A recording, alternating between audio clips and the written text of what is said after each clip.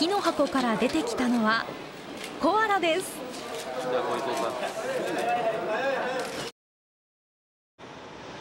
1984年10月25日コアラが初めて日本にやってきました。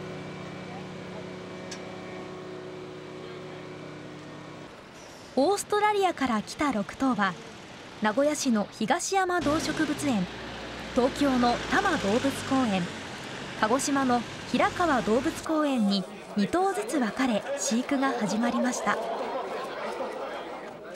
日本は空前のコアラブームに。お菓子のコアラのマーチが発売されたのもこの年です。名古屋に来た2頭のコアラ。名前はもくもくそしてコロコロです。1ヶ月後の一般公開の初日にはコアラを一目見ようと開園前から多くの人が集まりました。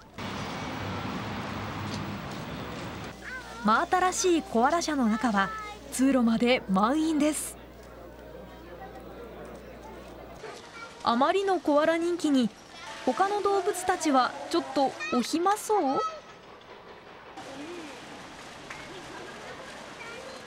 来る日も来る日もコアラの前には人人人。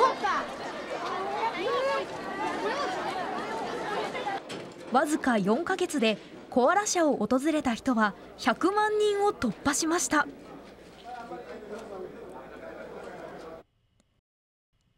コアラが名古屋にやってきてもうすぐ40年。園で生まれた赤ちゃんたちが次々育ちコアラたちはその愛くるしい姿で今も見る人の心を癒しています。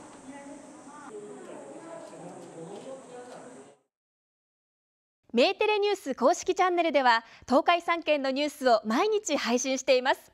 ぜひチャンネル登録してご覧ください。